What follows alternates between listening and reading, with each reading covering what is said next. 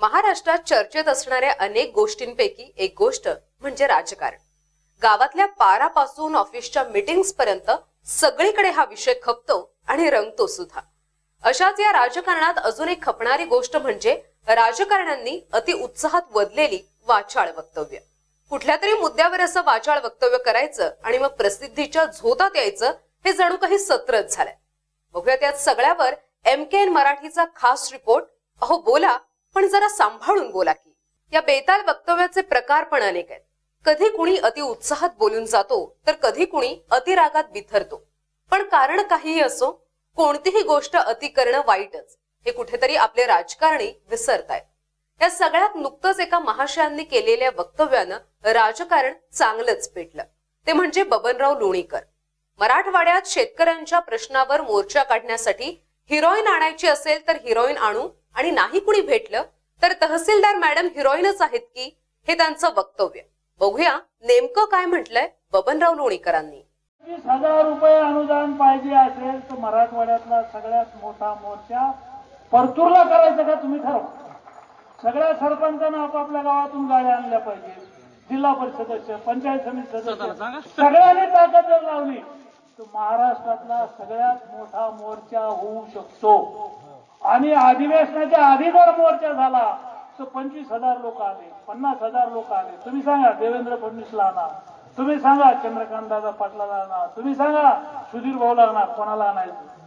तुम्हाला वाटलं तर सांगा नाही तर मग एखादी हिरोनी आणायची तर हिरोनी आणा. आणि नाही कोणी कोणी भेटलं तर तहसीलदार मॅडम हिरोनी आहे हे निवेदन घ्यायला येतील भाजप नेते बबनराव लोणीकर यांच्या वादग्रस्त वक्तव्यावर सगळ्याच स्तरातून तीव्र प्रतिक्रिया उमटल्या. यावर राष्ट्रवादी काँग्रेसच्या महिला प्रदेशाध्यक्षा रुपाली चाकणकर यांनी जिजाऊ सावित्रीच्या लेखी हिरोईन आहेतच याची काळजी तुम्ही करू नका. पण तुमच्यासारखे विलन आजूबाजूला असतील तर त्यांचा सुपडा साफ करायला आम्हाला वेळ लागणार नाही असं म्हणत आपला रोष व्यक्त केलाय. तर या सगळ्या प्रकरणावर काँग्रेसनं सुद्धा ट्विट करत लोणीकर यांचं वक्तव्य अशोभनीय असून महिलांचा अपमान करणारे असल्याचं म्हटलंय. तसेच त्यांच्यावर गुन्हा दाखल करण्याची मागणी देखील केली. बबनराव लोणीकर जिजाऊ सावित्रीच्या लेखी या हिरोईन आहेतच. त्याची काळजी करू नका पण तुमच्यासारखे विलन आजूबाजूला असेल तर त्यांचा सुपडा साफ करायला मला वेळ लागणार नाही. सत्ता गेली पण सत्तेची मस्ती अजून तुमची गेलेली नाहीये. त्याच्यामुळे बोलताना भान ठेवा आणि वक्तव्य करताना जबाबदारीने करा कुठेतरी वातावरण तापलंय म्हटल्यावर बबनराव लोणीकरांनी सारवा सारव करायला सुरुवात केली. हिरोईनला मराठीत नायिका म्हणतात. नायिका ही कर्तबगार स्त्री असते. त्यामुळे मी जे म्हणालो त्यात काहीही चुकीचं नाहीये.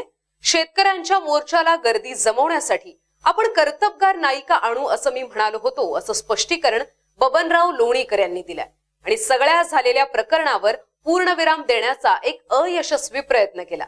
पण बबनराव एकदा बोललेलं वाक्य परत कसं घेता येणार? आपल्या भाषेला जरा तरी लगाम घाला की पुढे जाऊन आपल्याच गळाशी येईल असं विधान करणं बरं नव्हे. मंठा दोन्ही तालुक्यामध्ये तेहतीस केवीच्या लोकार्पण सोहळ्याचे कार्यक्रम होते. आणि या कार्यक्रमामध्ये माझ्या भाषणामध्ये मी म्हणालो सरकारने शेतकऱ्यांना अवकाळी पावसाची नुकसान भरपाई देऊ अशी घोषणा केली होती. हेक्टरी पंचवीस हजार रुपये देण्याचं मान्य केलं होतं. परंतु महाराष्ट्रातल्या शेतकऱ्यांना ही मदत मिळाली नाही. आणि त्याच्यासाठी आपल्याला मोठा मोर्चा काढायचा आहे. मोर्चाला मार्गदर्शन करण्यासाठी माननीय विरोधी पक्षनेते देवेंद्र फडणवीस माननीय चंद्रकांतदादा पाटील माननीय सुधीर भाऊ यांना बोलवायचं आहे किंवा एखादी हिरोईन बोलवायची आहे. असं मी माझ्या भाषणात म्हणालो. हिरोईन आली नाही तर तहसीलदार मॅडम आपलं निवेदन स्वीकारायला येतील आणि त्या हिरोईन आहेत याचा अर्थ वाईट होतो असं मला वाटत नाही. हिरोईन हा शब्द म्हणजे मराठीमध्ये नायिका. नायिका म्हणजे कर्तबगार महिला असा त्याचा अर्थ होतो. आणि आमच्या परतूरच्या तहसीलदार आहेत मंठ्याच्या तहसीलदार आहेत कर्तबगार आहेत डॅसिंग आहेत प्रशासनावर त्यांची पकड आहे जनतेचे कामं करण्याची त्यांची इच्छाशक्ती आहे. आणि म्हणून हा शब्द अदरवाईज वापरलेला आहे. आमच्या विरोधकांना मला विनंती करायची की तुम्ही याचं भांडवल करू नका. हिरोईन या शब्दाचा अपमान आपण करू नका.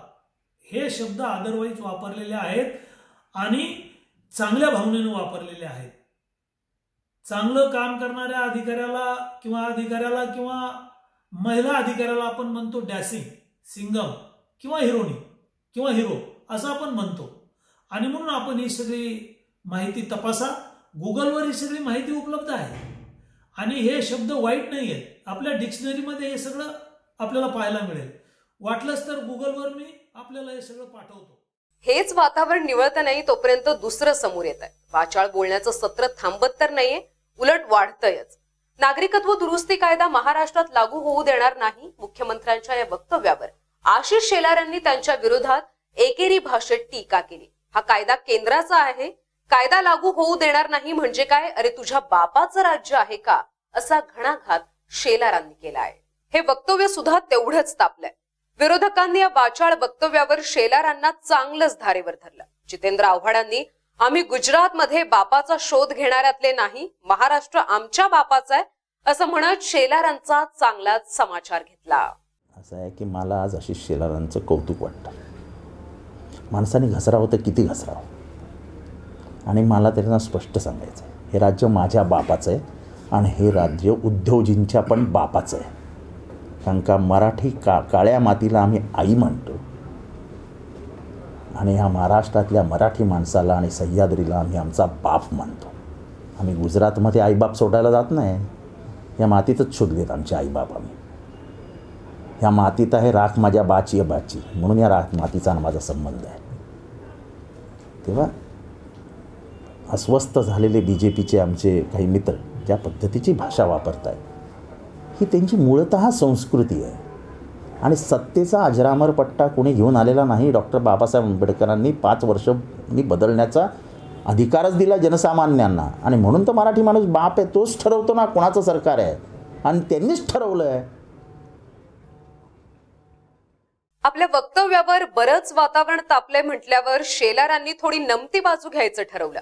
आपल्या स्पष्टीकरणात ते म्हणाले मी कुठल्याही राजकीय नेत्याचा वैयक्तिक आणि एकेरी उल्लेख केलेला नाहीये. मुख्यमंत्र्यांचा तर नाहीच नाही. ती आमची संस्कृती प्रथा परंपरा नाहीये. आम्ही सवाल उपस्थित केला आणि आम्ही त्यावर ठाम आहोत.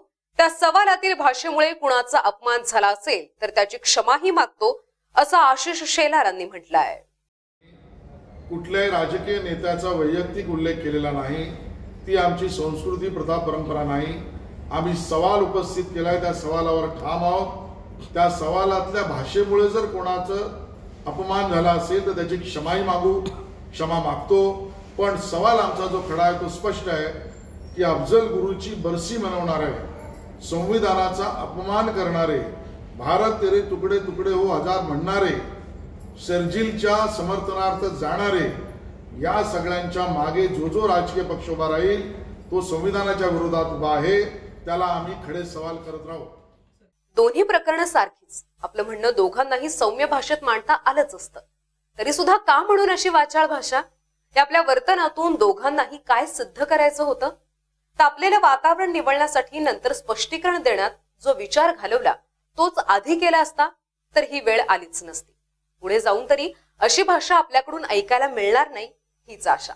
शेवटी एवढंच म्हणू बोला पण जरा सांभाळून बोला की. विशेष रिपोर्टमध्ये वेळ झाली इथेच थांबण्याची. त्याच्या घडामोडींसाठी बघत रहा एम मराठी. प्रतिबिंब वास्तव.